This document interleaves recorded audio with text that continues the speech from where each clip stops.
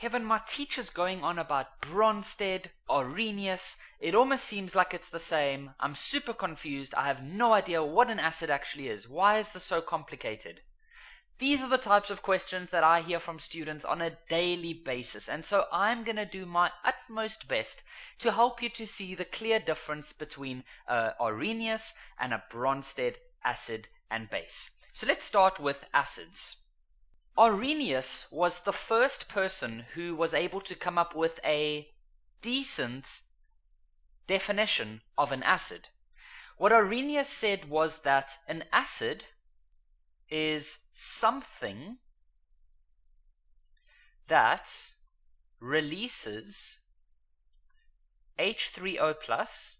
Now, your teacher might say, uh, let's not put brackets there. Your teacher might say, um,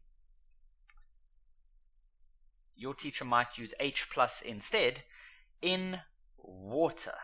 That's the important part, in water. So, for example, if you take HCl and you react it with water, whoops, why am I putting a plus there? Wow. That's going to give you H3O plus plus Cl minus. So what we did was we put this in water, and look at this, it produced H3O positive. Your teacher might do it like this instead. HCl gives you H, sorry, H plus plus Cl minus. The point is, as long as we are producing H plus, or if we are producing H3O plus, then according to the Arrhenius definition, we can say that that, that HCl is an Arrhenius acid.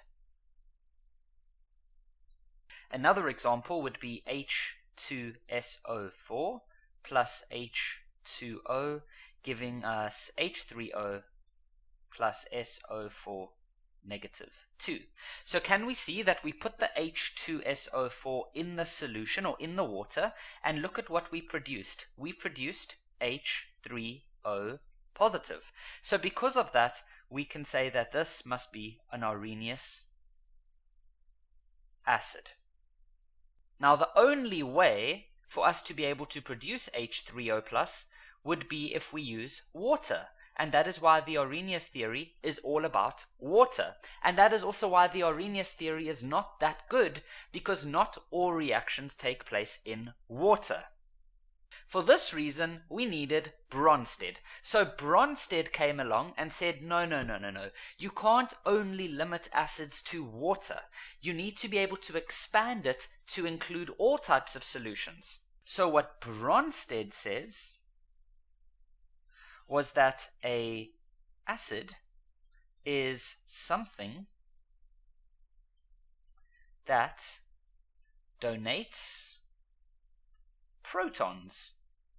Now, what is a proton? It's a H plus. That is all that a Bronsted acid is. So, for example, if we take HCl and we react it with NH3, then we produce NH4Cl.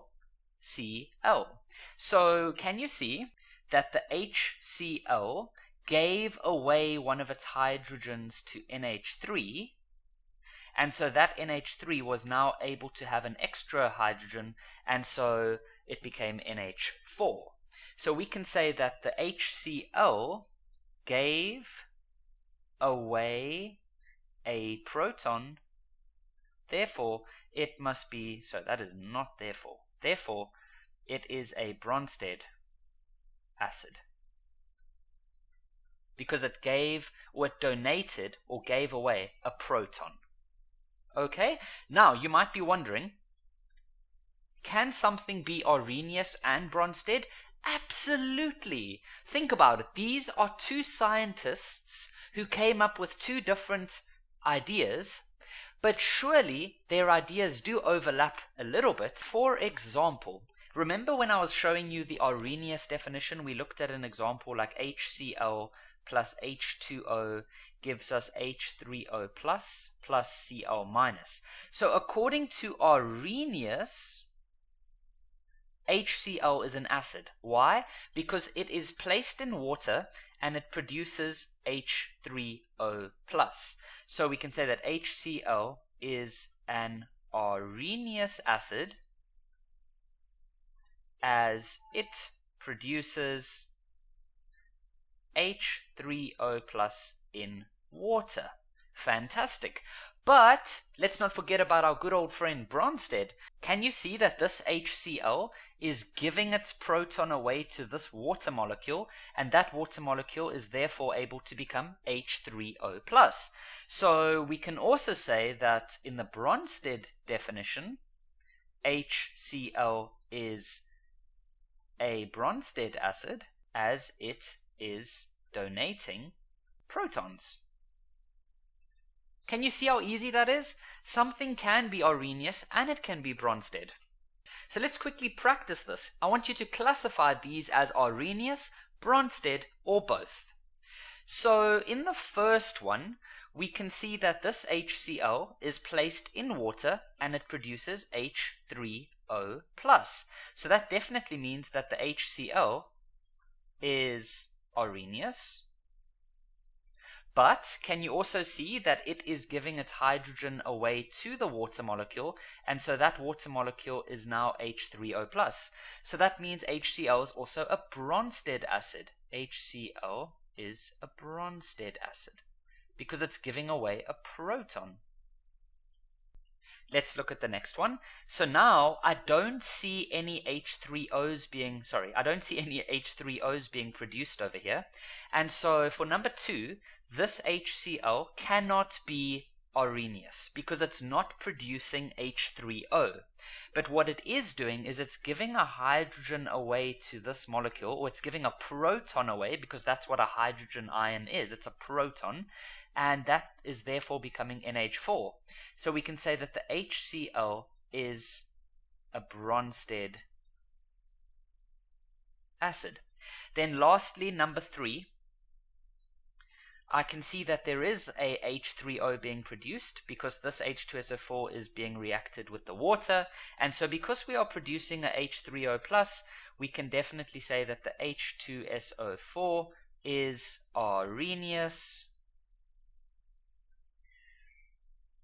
Okay, um, but it's this H2SO4 is also giving its hydrogens away to the water molecule, and that's why the H2SO4, or let, us rather say that's why the H2O is turning into H3O+. plus.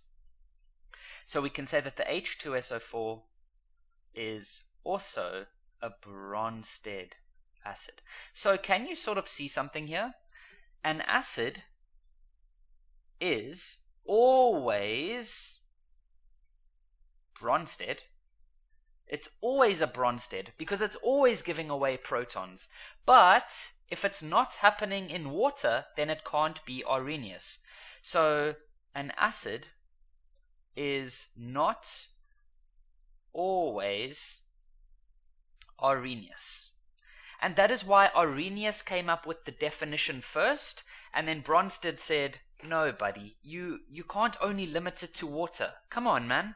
We need to be able to include everything. And so Bronsted saves the day and comes up with a definition that we can use for all acids. Right, so now that we know what an acid is, let's talk about what is a base. So once again, good old Arrhenius enters the boxing ring very early on in in um, in his career and decides he's going to come up with a definition. And he says that an Arrhenius uh, base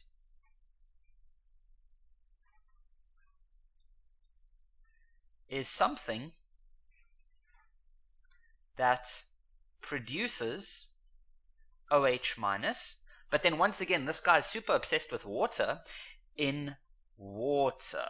Something that produces OH minus in water.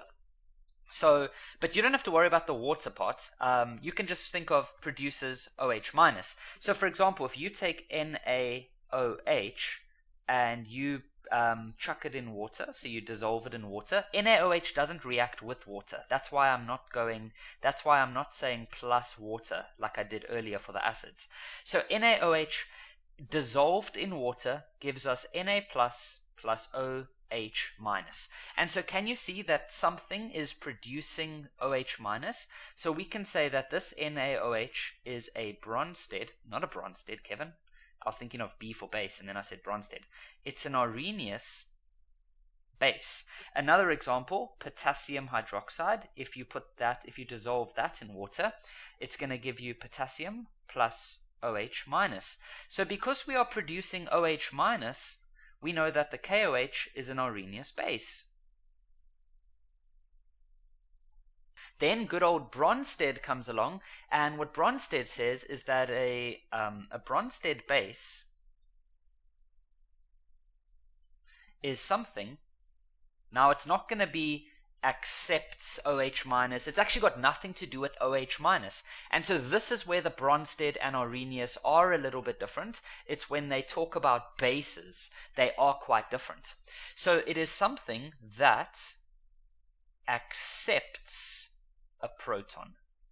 Something that accepts a proton.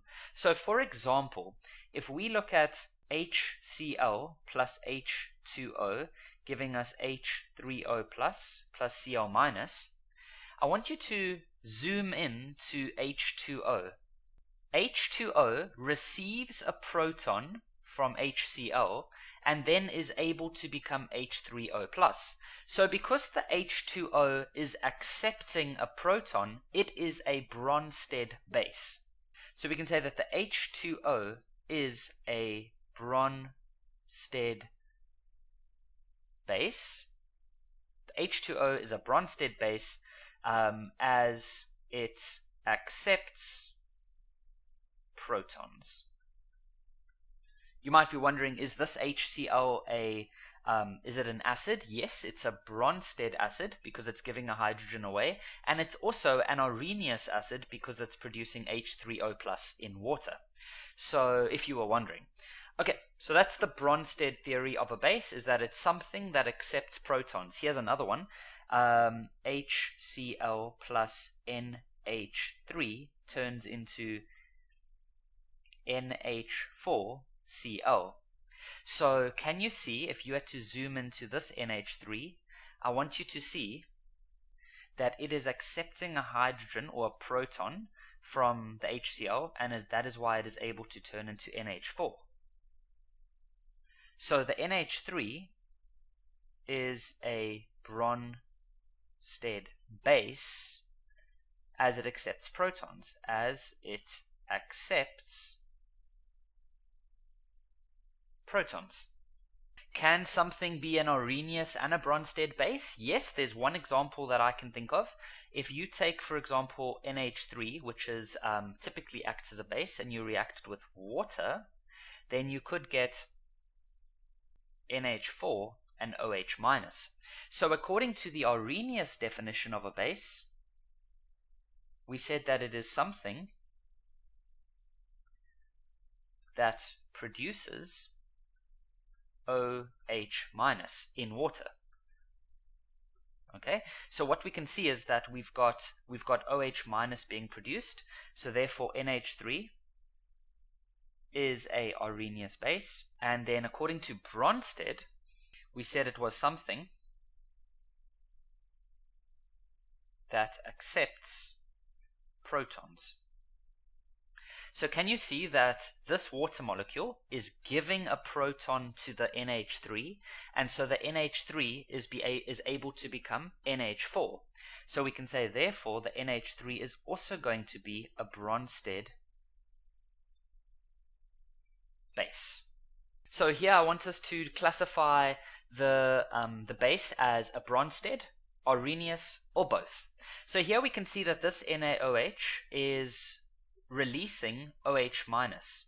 So because it's releasing OH minus, that definitely means it's an Arrhenius base. But now, can you see that it's not accepting any protons? There's no protons in this question that are being moved around. And so we, we won't say that it's a Bronsted base. It's only an Arrhenius base. So that's quite interesting. Then I want you to look at number two, we can see that the NH3 is causing uh, is producing OH minus in water, and so it's definitely an Arrhenius base. But I want you to notice that it's also this H2O molecule is giving hydrogens to the NH3 and that is why the NH3 turns into NH4. So it's also a proton acceptor, so we can also call it a Bronsted base. And then for the last one, we can see that this KOH is producing OH minus, and so that means it must be an Arrhenius base. So let's quickly summarize what we have learned. We know that an Arrhenius acid is something that produces H3O plus in water. And remember, your teacher might use H plus instead. Your teacher might say H plus. Some textbooks do that, um, so that's okay. And Arrhenius, um, a Bronsted acid was something that, let's write it like this, donates protons. Okay, then a base for Arrhenius is something that produces OH minus in water. And then a a Bronsted base is something that accepts protons. And so that brings us to the end of this lesson. I really hope that you now have a much better idea of what an acid and a base actually is.